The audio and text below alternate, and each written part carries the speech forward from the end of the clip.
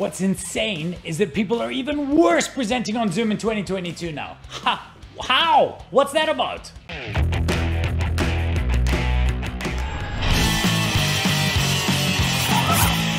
Hey, welcome to Lead Loud. My name is Richard Mulholland. I'm the founder and chief evangelist of Presentation Powerhouse Missing Link. Now, back in February, March 2020, we created a video for you on five tips for better Zoom presentations.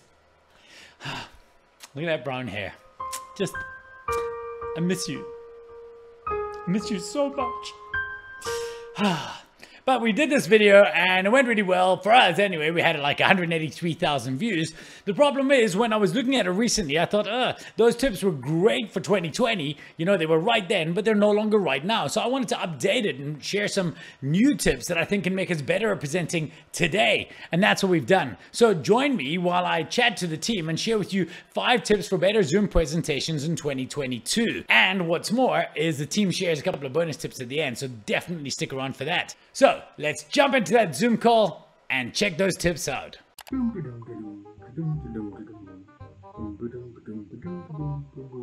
All right, welcome everybody. Uh, it's great to see you all on here. Uh, we're going to do a presentation for you today around how to present better, not just have better meetings, but present better on Zoom. If I can ask the admin of the call a favor, please, would you mind uh, sticking me on Spotlight just so that everybody can see me? All right. Thanks so much for that. Uh, by the way, that is the first tip that you need to do. That's the pre-tip. If you're presenting and you're not the host, make sure that somebody else spotlights you. I always give myself a little sticky note uh, just so that I can remember that that is something that has to be done. And you can use little notes around if you want something that's not necessarily in your uh, uh speaker notes for your presentation. So where do we start? Well, the first thing I want to chat about is eye contact. You want to, if you want to deliver a better presentation, your audience wants to feel that you're connecting with them, that you are speaking directly to them. Now, how do I get around that? Well, I've got two options. Uh, right now, I'm doing my best to stare at my camera as well as possible. However, if I go to my second camera, this one over here, I got a bit of a cheat because the cheat is that I have a teleprompter set up and I'm looking directly into that teleprompter and when I'm looking into that teleprompter, I can see the camera right there, but I can see everything I need to see. I can see your beautiful faces. But what I can do is it'll look like I'm looking directly at you. Now, that's the easy way to do it. There is another method you can use. This is a bit of a cheat. Uh, and for most of you, I would suggest that if you want to get some technology, the teleprompter is probably more trouble than it's worth. I would suggest that you consider looking at a little tool called a PlexiCam. Now, PlexiCam looks a little bit like this. It's a great little tool. What you can do is you just simply pop it onto your computer. You can move it around. This can go up and down. Ah. This can go up and down like this you can move it around and then you move it to where your audience is and you mount your camera on there. You can look directly through it. You can see your audience where they need to be, but your audience sees you maintaining eye contact. But what if you don't want to wait or you don't want to invest in technology at all? Well, there's still an option for you. And I want to illustrate one of the biggest mistakes that people make in order to help you be a little bit better in this regard. If you imagine this is a, a Zoom screen here, and we have everybody on Zoom, most people, what they do when they're ready, they make their screen full. However, let's say we wanted to look down at Francois down there. Well, we want to be looking at them, but your audience would see you looking, you know, down at the corners. So, hey, how are you? Now, it looks like in your mind you're looking directly at the person where they need to be, chatting to them. But of course, to your audience, you've just lost eye contact. So, how do I work around this? Well, what I do is when I jump onto Zoom, I do not ever make Zoom fill my screen. I drag it to the smallest possible position at the top. That way I can see almost everybody in gallery view. But what I'm actually seeing is them there, my speaker notes next to it. And if you zoom in, you can kind of just get a sense of what I'm looking at. So I can see where my next slide or my previous slide would be. I can see the team in front of me, and I'm able to look at you and maintain a degree of eye contact with no real effort whatsoever. So that's the, the first point how to maintain eye contact. Now, that's one of our senses. What about the other one, the sense of sound? Because there's one thing that can happen all the time these days is we can get interrupted. And these little assholes can interrupt us all the time. These little guys are terrible and they can make the worst of a meeting and everybody's apologizing for them. Well, you don't have to. Let me explain to you what I want you to do right now. Everybody can just go and you see that little thing at the bottom that says mute. Next to that, there's a little up arrow. I want you to click on that little up arrow. See what's happening there? Now, when you click on that up arrow, you're going to click on audio settings. When you click on audio settings, boom, what appears? Well, what appears is a small little thing that says suppress background noise. You can click that suppress background noise, and then what will happen? It will keep the sound down. For those of you who want a solution, ah, for those of you who want a solution that's a little bit more elegant than that, you're very, very welcome to utilize Krisp. Krisp takes it to a whole new level. If you are in a coffee shop, I highly recommend you look at that. Look, the audio suppression on your voice might make it a little bit worse, but for the average meeting, it's going to be absolutely perfect. Then, if you're clapping your hands together, people can't hear the noise. You can actually bang on things as people have been vacuum cleaning next to me, and you will not notice it at all. Oh, and one little tip I want to chat to you about while we're talking about sound, you wanted to unmute. I can see a lot of you are up there muted. One kind of cool thing you can do now, you have to be muted first for this to work. It won't work by default unless you're already on mute at the beginning. But that's the spacebar technique. So all you have to do, I want everybody to go quickly now and just put your finger on spacebar, hold it in, and then come out, and in, and out. Oh. Check it all about. Now the cool thing about that, that what you can do as well, and now you can once you've done this once, then what you can do is you can just tap spacebar, tap it. Ah, say hello. Hi. Hello. and then you can untap it to go back. And then it's a great tool to just stay in mute in a meeting. And in fact, if you get in the habit of when you want to speak, just you're holding the push to touch, there's never that you're on mute problem because you always know you're on mute because you're simply pushing your finger to say something. So from here, I want to chat about another very important thing. And that is the next thing for me is about sharing our screens and sharing our presentations. Now, I don't know if any of you have seen the, the usual worst way. It's kind of one of these things here. It's like, um, hey guys, sorry, I just want to um, start by sharing my screen. Um, I'm just going to share here quickly. Um, can everybody see my screen? Uh, thanks. Like, come on. Now, there has to be a better way to do this. Uh, it turns out there is though. Imagine you can instead turn around and say, Hey, I just want to share my screen quickly and show you some slides. Check this out. Good sharing is caring. And it really, really is. Sharing your slides in a more professional way is just so much better, so much slicker. So how did I do that? Well, it's relatively easy. You can actually follow along and I'll show you as I'm going. So if you go into your Zoom screen, uh, sharing settings where it says share screen, what will pop up is that little menu that you've seen all the time with all those little screens, as you can see on my screen now. Now, if you see where I'm pointing to my avatar there, up next to basic, there's a thing that says advanced. If you click on advanced, then what happens is you see a second screen and they'll have different settings depending on the version you're running. It'll probably say share your PowerPoint as a background, which by the way is something cool you should check out. And then you'll see next to it portion of screen sharing. That's what I'm using right now. Um, I like portion of screen sharing because it allows me to send less pixels over the internet. So then I'm actually getting a better quality product because I'm not sharing my big, big monitor with everyone. So what happens? When I click that, what would appear is this little green bar. And you can set this up beforehand. So before this call started, I, in my own Zoom room, I set up which portion of my screen I wanted to set up and it preserved it between calls. Now, all you do is you could drag it bigger. You can get a sense of what I'm doing there by seeing that. And when you're ready, I can, you know, drag it to size. I don't like to do that with my audience. I just want to demonstrate how it works. But then I can always see what's happening and what my next screen is. Uh, then when I'm ready to go and ready to start speaking, I just get this ready here, like I did with you guys. So I go and I, you know, share, get ready. My share screen menu is now appearing like you saw in the last screenshot. And then when I'm ready to start sharing, I just double click. And as I do that, it appears, my slides are there. My participants can now see the screen and it just works a little bit better, makes it a little bit easier.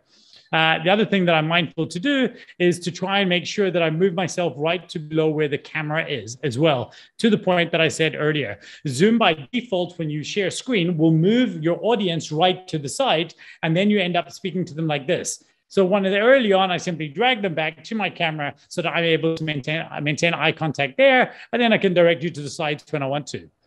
Now, if you want to be ever so slicker, but this is a bit more work, what you can do is you can go into PowerPoint before you start the call when you're setting up. You can enter a screen share mode, a full screen show mode, and then you can look, click at the bottom left, roll over your mouse, and click View Presenter Notes. Your presenter node screen will pop up. And then when you're doing portion of screen sharing, what you're sharing is that. So then you're dragging your screen over that one little bit. You can see your next slide. You can see all your speaker notes. You can actually go to where that little pen is and you can annotate as well. You can see a grid of all your screen share uh, your slides and go and change them that way. And it just makes for a slicker, better experience. The most important thing for me always, though, is be able to see my next slide. And why is that so important? Well, because the difference between a good and great presenters, or between good and great presenters, is their ability to segue. There's nothing worse for me than somebody saying, hey, let's go to um, um, the next slide. All right, the next slide is, um, let's just see. Ah, right, tools. No, you want to be able to build that up. You want to be able to turn around and say, Hey, and so what is our final tip? Well, our final tip is, or our second to last tip is use the tools. Use the tools. There are so many tools available for you that you can utilize. And these aren't just tools that are inside Zoom. You have to use the tools that are all around you. Tools like your cameras, your lighting, your audio, your presentation, and your set. I call this your claps, camera, lighting, audio, preso set. You know, even the little things like the background of my room, I can ah, change the way it looks, create a better look and feel. Come over here again. Hey, hey, hey. Come back over here. I've set up my environment for success. But whether that's just, you know, the way you set up for lighting, that's up to you. But there is a better way of doing that. Now, of course, speaking of tools, you'll have noticed that I have my slide presenter in my hand to allow me to still be in that presentation mode, but also you'll notice my slides.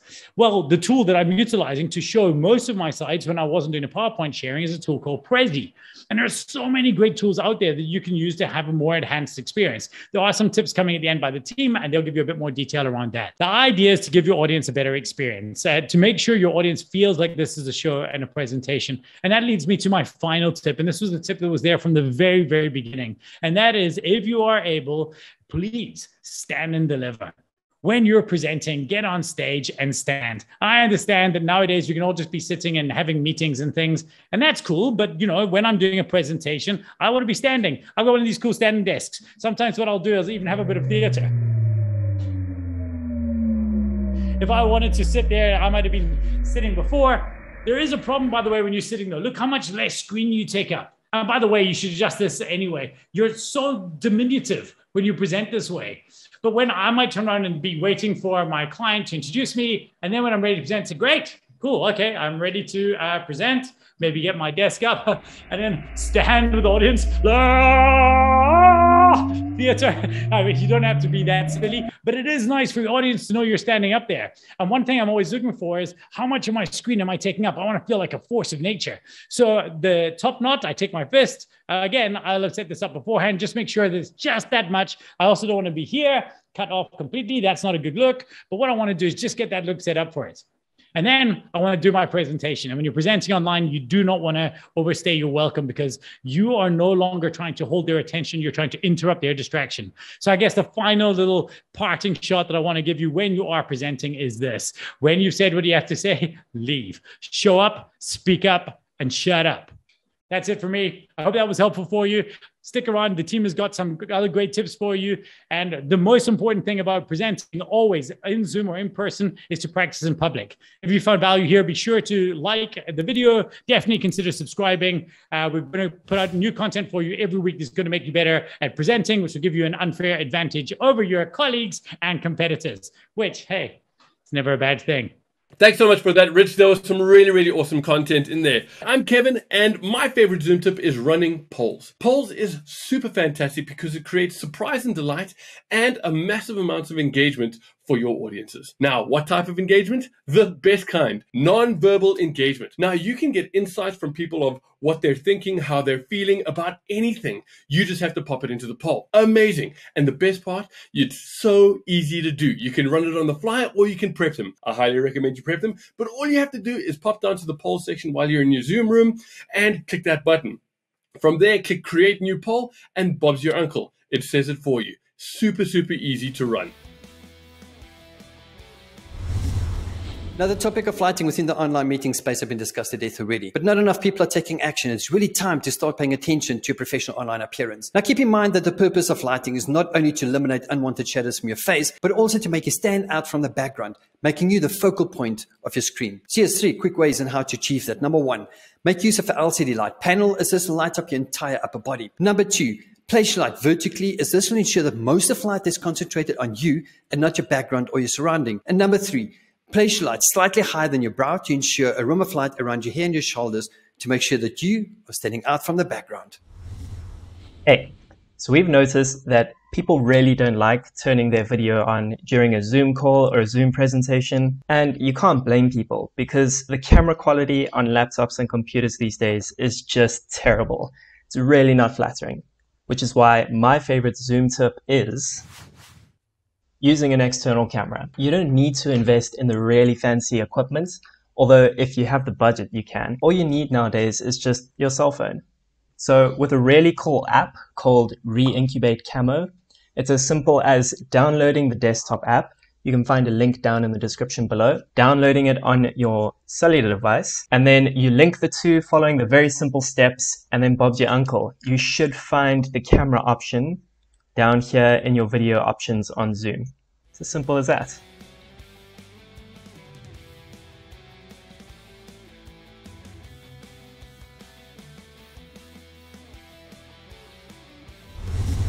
Hey there, Joshua here. Now, have you ever looked at your camera feed in Zoom and realized that the lighting doesn't look as great as it should, especially if the lighting in the room doesn't suffice? Well, there's a way to virtually improve your lighting, especially if you don't have the means to.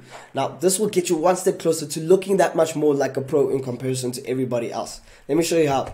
Now, if you go to the bottom left section of your Zoom window and you click on this little up arrow next to your video toggle option, click on video settings and go to adjust for low light. Then you want to set this to manual. This will then allow you to manually increase or decrease the brightness of your video feed, and that will help you look that much better. One of the biggest problems we have when it comes to speaking to an online audience is trying to maintain that online audience engagement. It is so difficult. Now, one way to solve that is to include your audience in your conversation. And you do this by asking them questions. Ask them questions specifically, use their name, Karen, what did you think about that? There's got to be at least one Karen watching this.